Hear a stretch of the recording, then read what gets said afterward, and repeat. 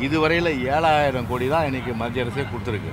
அதான் சொல்கிறேன் இந்த மத்தியில் ஆளுகின்ற அதை தேசிய கட்சிகள் குறிப்பாக காங்கிரஸ் இருந்தாலும் சரி அதே போல் வந்து பிஜேபி இருந்தாலும் சரி பத்து வருஷம் பிஜேபி வந்து தமிழ்நாட்டில் வந்து இதே வந்து வட மாநிலத்தில் வந்து இந்த மாதிரி வெள்ள சூழ்நிலை ஒரு அபாயம் ஏற்பட்டால் உடனடியாக அங்கே வாரி வழங்குது ஏன் இங்கே வந்து தமிழ்நாட்டில் வரி கொடுக்குறது இல்லையா? செங்கல்ல இருந்து சுண்ணாம்பு வரைக்கும். கஸ்டமருக்கு நாம தானே கேரண்டி கான்ட்ராக்டர் குமார் மாதிரி ஆளுங்களுக்கு தான் ஜிபிஆரின் டிஎம்டி கம்பிகள். மிக்ஸாம் புயலுக்கு தமிழக அரசு வந்து மத்திய அரசு முப்பத்தெட்டாயிரம் கோடி வந்து இழப்பீடு நிதி கேட்டுச்சு. இப்போ டிசம்பர் மாதம் பதினேழு பதினெட்டு ப்ளஸ் மாநில அரசு. மாநில அரசு வந்து கேட்டுச்சு மத்திய அரசு ஆனால் இரநூத்தி இருபத்தி ரெண்டு கோடி தான் தற்பொழுது ஒதுக்கி அரசாணை மத்திய அரசு வெளியிட்டு. இது அதிமுக எப்படி? இல்லை அதான் பொதுச் செயலாளர் தெளிவாக சொல்லியிருக்காரு. கிட்டத்தட்ட ரெண்டாயிரத்தி பதினஞ்சுலேருந்து நம்ம வந்து கணக்கு எடுத்து பார்த்தா ஒன்றரை லட்சம் கோடி கேட்டிருக்கோம் நாம. அதாவது ஒக்கி புயல் அதே போல் வர்தா புயல் அதே போன்று இது சென்னையை தாக்கிய மிக்ஜாம் புயல் இப்படி பல்வேறு புயல்கள்லாம் வந்து சென்னை மற்றும் தமிழ்நாடு தாக்கியிருக்க நிலையில் மொத்தம் நம்ம கேட்டது பார்த்தா ரெண்டாயிரத்தி ஒன்றரை லட்சம் கோடி. ஆனால் யானை பசி சோழப்பரின்றது போல் இதுவரையில் ஏழாயிரம் கோடி தான் இன்றைக்கி மத்திய அரசே கொடுத்துருக்கு.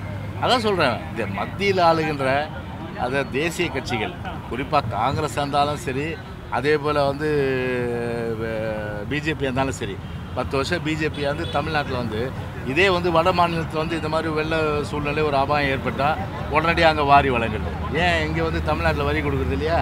தமிழ்நாட்டு மக்களுடைய வரி பணம் தமிழ்நாட்டு மக்களுக்கு சரிசமமாக பங்கிட்டு கொடுங்க. அதை விட்டுட்டு வட வடக்கு ஒரு நீதி தெற்குக்கு ஒரு நீதினா இது எந்த சூழ்நிலை நிச்சயமாக வந்து ஏற்றுக்கொள்ள முடியாத ஒரு விஷயமா தான் நிச்சயமாக வந்து பார்க்க முடியும். அதனால தான் வந்து இப்போ பொதுச்செயலாளர் தெளிவாக சொன்னார். தேசிய கட்சிகள் ஒரு பிரயோஜனம் கிடையாது.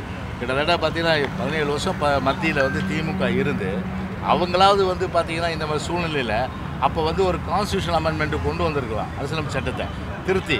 ஏன்னா உத்தரவு போகிற இடத்துல இருந்தாங்க. இல்லைன்னா வாபஸ் வாங்கிடுவாங்க. ஏன்னா இன்றைக்கி வந்து ஒவ்வொரு மாநிலம் கஷ்டப்படுது. குறிப்பாக தென் மாநிலங்கள் கஷ்டப்படுது. அதுவும் குறிப்பாக தமிழ்நாட்டை வந்து ஓர வஞ்சனையோடு பார்க்குறாங்க. இந்த நிலை மாற்றணும் அதுக்காக என்ன பண்ணோம் ஒரு நிதி பகிர்வு ஒரு சீரான வகையில் இருப்பதற்கு ஏற்ற வகையில் ஒரு அரசியலமைப்பு சட்டத்தை திருத்தி அதன் அடிப்படையில் வந்து பார்த்திங்கன்னா அன்றைக்கே செஞ்சுருந்தா கரெக்டாக யார் யாருக்கு என்னென்ன போஷனோ அந்த போர்ஷன் படி பார்த்தீங்கன்னா அந்த பங்கு படி பார்த்தீங்கன்னா தமிழ்நாட்டுக்கு வந்திருக்கும். ஆனால் அதை செய்யலையே. செய்யாமல் இன்றைக்கி வந்து பார்த்துறாங்க மாநில உரிமைகள் காப்போம் தமிழ்நாடு மக்களை காப்போம் சொல்லிட்டு இன்றைக்கி வந்து ஸ்டாலின் சொன்னால் இன்னைக்கு கூரை கோழி பிடிக்க முடியாது வானையேறு வைகுண்டம் பார்த்தா தமிழ்நாட்டே காப்பாற்ற முடியாது ஸ்டாலினை. இன்றைக்கி போய் வடநாட்டில் போய் இன்றைக்கி வந்து பார்த்தீங்கன்னா போய் பிரச்சாரம் பண்ண போகிறாராம் கேலி கூத்தான ஒரு விஷயம் இது அந்த மாதிரி பதினேழு வருஷம் மாநில தன்னாட்சி நிதி தன்னாட்சியை போட்டு இது பேணி காப்பதற்கு அன்றைக்கே இதை மாதிரி செஞ்சுருக்கலாம். ஆனால் அன்றைக்கி தவற விட்டுட்டாங்க. அதுதான் பொதுச்செயலாளர் சொன்னார். தேசிய கட்சிகள் ஒரு பிரயோஜனமே கிடையாது.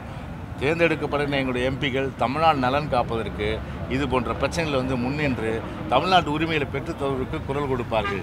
எந்த என்ற அடிப்படையில் தான் நாங்கள் வந்து அந்த ஸ்லோகனே வச்சோம். தமிழ்நாடு தமிழர்கள் உரிமை காப்போம் தமிழ்நாடு உரிமையை மீட்போம்னு சொல்லிட்டு. அந்த வகையில் எங்களுடைய உரிமைகள். எனவே தம் மத்திய அரசால் வந்து காங்கிரஸாக இருந்தாலும் சரி திமுகவாக இருந்தாலும் சரி இது காங்கிரஸாக இருந்தாலும் சரி காங்கிரஸ் ஒத்து ஒத்துழைப்போட திமுக ஒத்துழைப்பு கொடுத்து நடந்த சூழ்நிலையும் பிஜேபி திமுக ஒத்துழைப்பு நடந்த சூழ்நிலை எந்த ஒரு பலனும் தமிழ்நாட்டு மக்களுக்கு கிடைக்கல. எல்லா வகையிலையும் வந்து பார்த்திங்கன்னா மத்திய அரசில் இருந்து கொண்டு குடும்பங்களை வளப்படுத்தி கொள்ளுகின்ற அந்த ஒரு பணியை தான் செஞ்சாங்களே வேறு எந்த ஒரு பணியும் செய்யலை. அதனால தான் சொல்கிறோம் ராம ஆண்டானா ராவண ஆண்டானா?